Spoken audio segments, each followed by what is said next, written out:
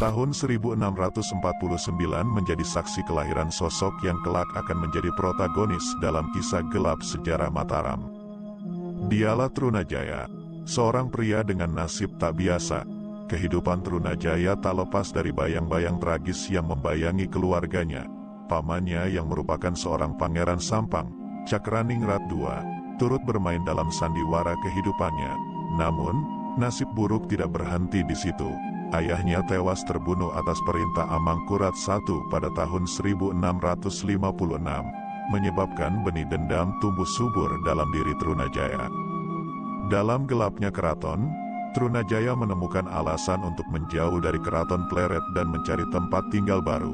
Ia pun mendapati Kajoran, sebuah daerah terpencil yang terletak sekitar 26 km utara laut dari keraton, yang juga dikenal sebagai kawasan suci Tembayat. Kehadiran Trunajaya di sana seakan membawa aura misteri dan ketegangan yang tak terduga. Sementara itu di lain wilayah, di dalam cerita sejarah Jawa yang kaya akan intrik dan penuh ketegangan, Sunan Amangkurat II, yang juga dikenal sebagai Sunan Amral, memainkan peran utama dalam tragedi cinta terlarang yang mengguncang kerajaan, dilahirkan sebagai putra dari Amangkurat I dan Ratu Kulon. Sunan Amangkurat II memiliki nama asli Raden Mas Rahmat, namun, takdirnya tidak berjalan mulus sebagaimana yang diharapkannya. Kehidupan awal Sunan Amangkurat II tidaklah mudah.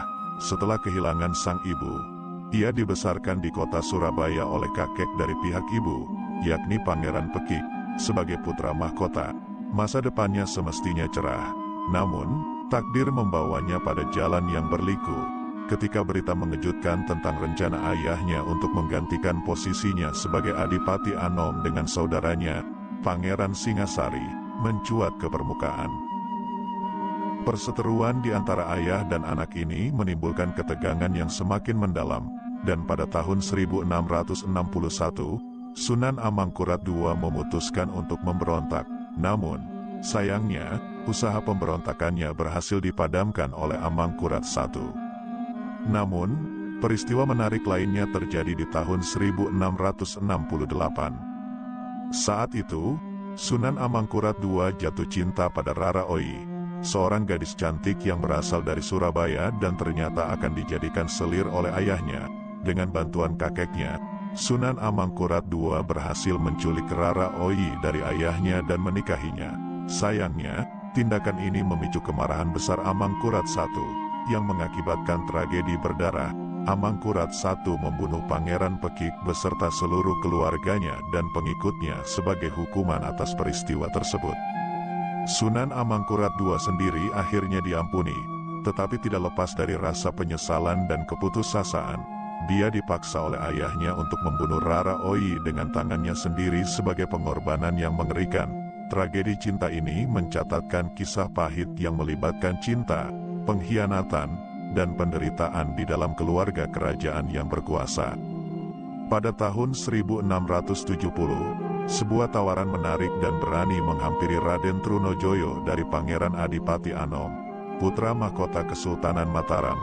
Pangeran Adipati Anom berencana untuk menggulingkan tahta ayahnya sendiri, Amangkurat I. Dia meminta bantuan Trunojoyo untuk melancarkan upaya kudeta tersebut. Tanpa ragu, Trunojoyo setuju dengan tawaran tersebut. Namun, di balik keputusannya yang berani, ada dendam yang membara dalam diri Trunojoyo terhadap Mataram.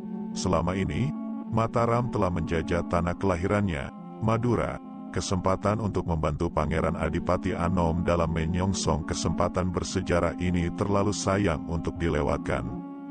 Kemenangan demi kemenangan yang berhasil diraih oleh Trunojoyo menimbulkan kecemasan bagi Pangeran Adipati Anom, putra mahkota, yang kelak dikenal sebagai Amangkurat II.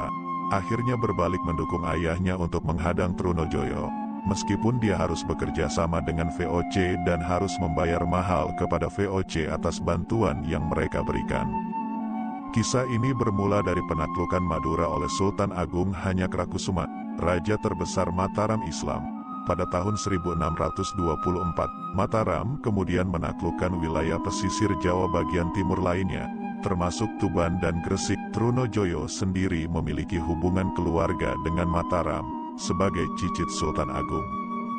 Trunojoyo memulai aksinya dengan menculik dan mengasingkan saudara tirinya, Cakraningrat II, yang merupakan penguasa Madura saat itu. Trunojoyo tak menyukai kepatuhan Cakraningrat II terhadap Mataram dan melihatnya sebagai bentuk penjajahan.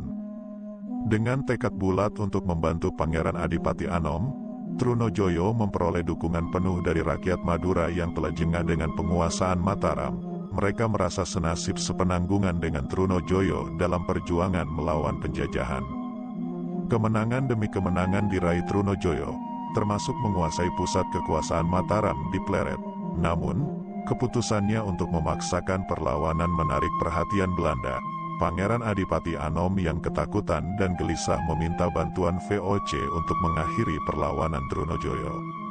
Perang pun mencapai puncaknya saat Trunojoyo dan pasukannya akhirnya ditundukkan oleh kekuatan gabungan Belanda dan penguasa Mataram.